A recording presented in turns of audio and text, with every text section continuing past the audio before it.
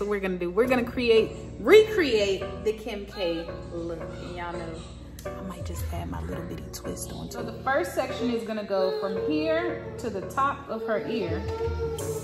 Now the second one is gonna go from the top of her ear and you're going to angle your third one is gonna go from a little bit below the top of her ear, straight across. I'm going to take my edge control and my edge brush. I'm gonna dip just a little bit of edge and all I'm gonna do is brush a little bit on her edges,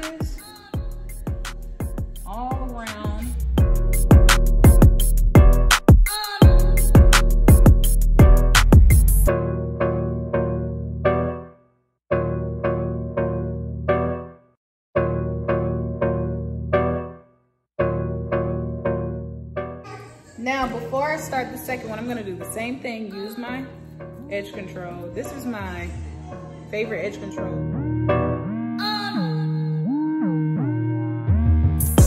Now I'm gonna take the hair that was from the first one.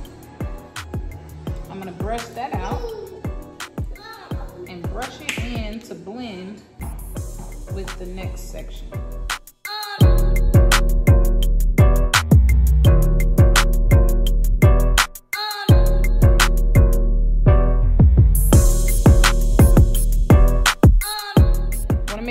That your part is exactly in the middle. Look for me. Yes, in the middle. All right, and they're smooth and it's even.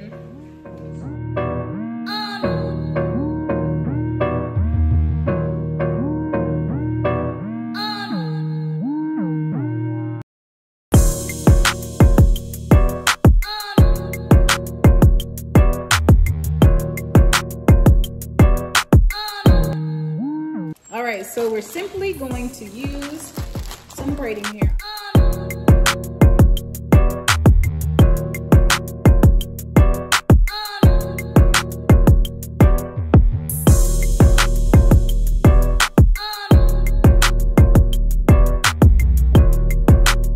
So now I have a knot. And what I'm gonna do is I'm gonna take a rubber band and add it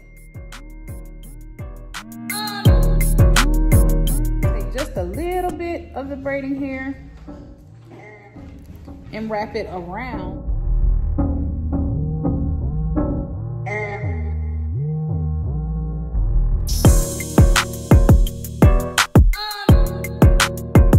Now I'm going to take a little more edge control